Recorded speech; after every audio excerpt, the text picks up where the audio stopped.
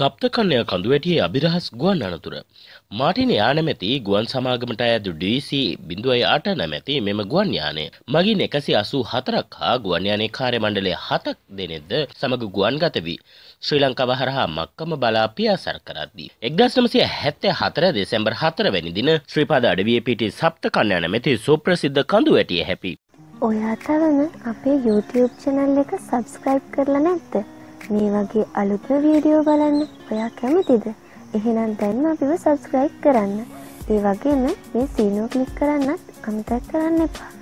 එදින රාත්‍රී හරියටම දහය පසුවී විනාඩි දහයට අනතුරට පත්වී ඇති බව වාර්තාවල සඳහන් වේ. අනතුරින් එම යානය සම්පූර්ණයෙන්ම ගිනිගෙන විනාශ වී ඇති අතර එහි ගමන් කළ එකසිය අනු එක් දෙනාම ජීවිතක්ෂයට පත් වූහ. ලක්ෂපාන ජලවිදුලි බලාගාරය අසල අතිශය සුන්දර පරිසරයක පිහිටි ලක්ෂපාන දිය ඇල්ල ඉස්මත්තේ ඇති සප්තකන්නයක් කඳු ඇටියේ පස්වැනි කන්දේ. සප්තකන්‍ය යනු කඳු හතකින් යුක්ත කඳු වැටියකි. ගුවන්යානයේ තටුවක ගැටීමෙන් බිම අනතුර සිදුවී තිබේ. තටුව ගැටි ගුවන්යාන ඉදිරියට ගමන් කිරීමේදී සප්තකන්‍ය කඳු වැටිය පස්වැනි කන්දේ අඩි කිහිපයක් ගලදිගට ඇඳී තිබූ රේඛාව වසර ගණනක් සුදු පාට වර්ණයෙන් දිස්ව තිබුණද මේ වන විට ඒ වල් වැදී මැකී ගොස් ඇති අයුරු දැකගත හැකිය. එක්දස් නවසිය හැත්තෑ හතරේ දෙසැම්බර් මස හතරවැනි දෙන සිදූ මෙම කේදවාචකෙන් අනතුරුව ශ්‍රී ලංකාවේ නෝටන් බ්‍රිජ් පොලිස් බල ප්‍රදේශය පිටි සප්තකන්‍ය කඳු වැටිය පිළිබඳ ලොව දසත ප්‍රසිද්ධියට පත්විය. ශ්‍රී ලංකාවේ ගීතරචකෙන් කීප දෙනෙක් විසිල් පබැදූ ගී පදමාලා සුප්‍රසිද්ධ ගායකන්ගේ හඬින් ගායනා කර කැසට් පට මගින් එවකට ප්‍රසිද්ධ වූයේ මේ අනතුරේ පසුබිම ඇතුරතුරු ඇතුළත් කරමින් කාන්තාවක් සැතපී සිටින ආකාරයෙන් පිටි මේ සුන්දර සප්තකන්‍යා කඳුෂ්‍යකරය බිලිගත් මාටිනයා ගුවන් අනතුර එදා සියසින් දුටු අය බොහෝ පිරිසක් අද මිය ගොස් ඇති අතර තවමත් කීප දෙනෙක් අවට ගම්මානවල සිටිති. වසර හතලිහක් ගෙවෙන මොහොතේ අප ගුවන් අනතුර සිදූ සප්තකන්‍යා කඳුපාමුල පිහිටි කොත්තැල්ලෙන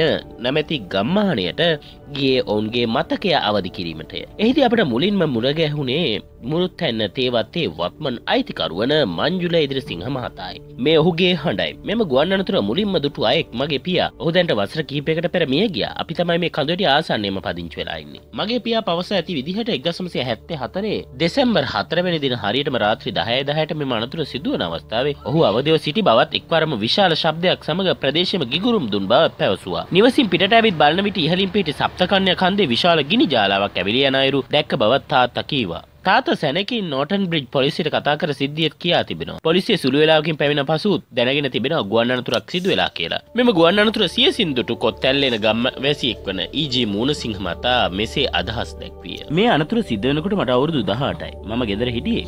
හරියටම 10යි 10ට විශාල ශබ්දයක් ඇහුණා. මුළු පලාතම හෙලා දෙදරුම් කෑව. අපිට හිතාගන්න බැරිුණ අම්ම ගෙදර ඇත් සමඟ එලියටත්තාව සප්තකන්‍ය කන්දේ විශාල ගිනි ජාලාවක් දැක්ක.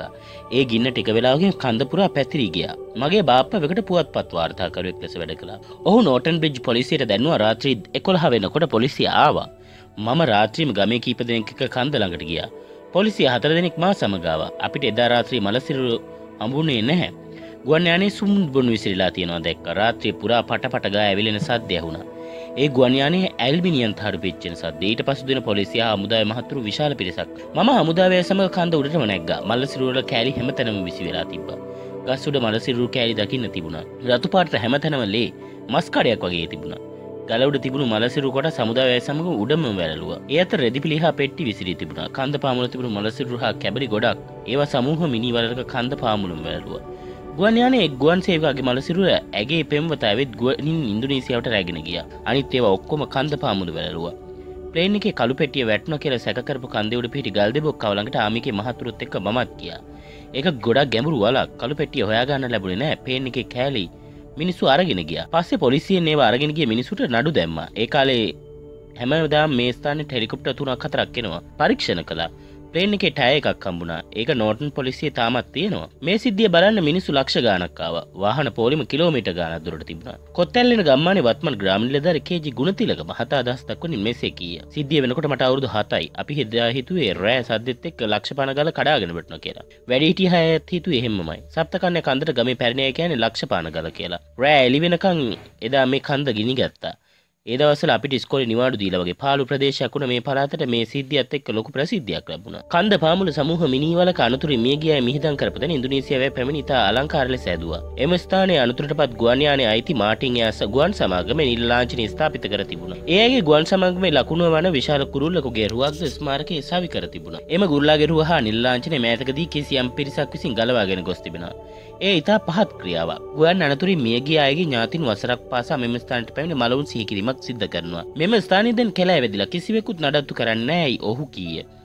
මල්ලිකා හෙන්න අයක පනසට හැවිරිදි මහත්මිය අනුතර සිදුවන අවස්ථාව අපි ගොඩක් බයවුන් විශාල ශබ්දය නිසා මුළු පලාතම දෙදරුම් කෑව. ගෙදරින් එලියට ඇවිත් බානකට සප්ත කන්න කන්ද ගිනිගෙන දැවෙනවා දැක්ක. වැඩි හිටියයටන් කන්දර ගියා. මගේ මහත්තත් බලන්න ගියා. ඔහු හිතිබි ඩොලදාහක නොටුවක් ගෙන විත්තිබුණ ඒ තාම් මල්ලක තියෙනවා. සිද්ධිය මතක් වෙන්න පලේන් එක කෑලිය දවසල මිනිසු ගෙනියනවා දැක්ක. දැන්න්ගේ කාගාවත් නෑ. නෝටන් පොලිසි ත්‍රිපිට ටයිර ඇත්තින ඒ පැවසුවයි. මෙම අනතුරට පත් මාටිනයා DC අට ගුවන් යානය පැදුවේ ගුවන් නියමෙක් වන නෙදරලංච ජාතික ලෑම් මහතගේ පුත්‍රයෙක් වන ඒ ලෑම් මහත දැන්ට වසර තුනකට හද ශ්‍රී ලංකාවට පැමිණීම ගුවන් අතර පිළිබඳ සොය බල සියලු පාර්ශ්වයන් හමුයි වාර්තාමය වැඩසටහනක් කළ බව අපහා පැවසුවේ නෝටන් බ්‍රිජ් කිරිවන්නලේ ප්‍රදේශ පදින් සංචාරක මාර්ගෝපදේශකෙකු මෙන්න පරිසරවේදයෙකු වන එම් අර්චමින්ද නිරෝෂන් එවත් නීල් මහතා අපට ඔහු හමුණේ ඔහු පදිංචි සප්තකන්‍යය කඳු පිය සසලදී මේ ඔහු අපට කීදේ දැන්ට වසර තුනකට පමණ පෙර අනතුරට පත් මාටිං එයා DC අට ගුවන්යානේ නියමුකේ පුතා නෙදල්ලන්තේ සිට ශ්‍රී ලංකාවට පැමිණි අවස්ථාවේ මට හම්බ වුණා. ඔහු සමග ඔහුගේ බිරිඳ පැමිණියා. මම උන් සමගේ අයගේ වාර්තා වැඩසටහනට සහභාගී සිද්ධිය වූ සප්ත කන්‍ය කන්දර ගියා. මෙම ගුවන් අනතුර සිදු ආකාරය පිළිබඳ ඔහුට සමීක්ෂණයක් කිරීමයි අභිප්‍රාය වී තිබුණේ. ඔහු පියේ ලෑම්ප් මහතා ඔහු මෙහිදී සියලු සංසිද්ධීන් කැටිකොට වාර්තාමය සංයුක්ත තැටියන් නිපදුවා. එහි පිටපතක් මට ද ලබා දුන්න ම පරිසරවේදියෙක් ලෙස කඳු නැගීම කරනවා. දැන්ට වසර කීපයකට ප්‍රම මම සත්තකන්යා කඳුවැටිය තරණය කරන වෙලාවේ ගුවන් යන පිටිපසට අයරේ කෑල්ලක් හම්බුණා. ඒම රැගෙන ආවා. අනතුරට පත් ස්ථානය පාමුල පිහිටි සමූහ මිනිවල ළඟ තිබුණු සැමරුම් කොටස් කීපයක් පිරිසක් විසින් ගලවාගෙන යාම ඉතා අශෝභනයි. ඉදිරි දිනක ගුවන් අනතුරේ මියගේ ඥායගේ ඥාතීන් යලි පැමිණියොත් අප කෙතරම් ලැජ්ජාශීලී විය යුතුද? මේ ගැන වගකිව යුත්තන් සොයා බැලිය යුතුයි. අපි කොත්තැල්ලෙන ගාමෙන්ට් ගිය අවස්ථාවේදී එම ගම්මැසෙන් කිව් කතාවක් මෙම ලිපි අවසන් කිරීමට ප්‍රථම සඳහන් කිරීමට අදහස් කළෙමු. මහත්තයෝ මේ ප්ලේන් අනතුරේදී ස්වලල් සමහරය ප්ලේන එක කෑලි විකුල්ලා තියෙනවා. ඒ කාටවත් හරිගෙන නෑ ළඟදි කන්ද පාමුල තියෙන මිනිවල්ලපතන හදලා තියෙන ස්මාරකය කඩලා සිහිවට්ට පළක වගේ කරලා වගේ ගිහින් තියෙනවා. පොදුවේ ගමේ අපිටත් ඒක අපවාදයක්. එහෙම කරපුවාට කවදාවත් දියුණුවක් නෑ. මේක සමන් දෙයියන්ගේ අඩවිය මහත්තයෝ. ඉතින් යාළුවනේ ඔයා අපිව තවම සබස්ක්‍රයිබ් කරලා නැත්තම් පහත බටන් එක ක්ලික් කරලා අපිව සබස්ක්‍රයිබ් කරන්න. ඒ වගේම ඔයාට මේ වීඩියෝ එක වැදගත් වුණා නම් ලයික් කරලා කමෙන්ට් කරලා ෂෙයා කරන්න. ඔයාට සුබ දවසක්.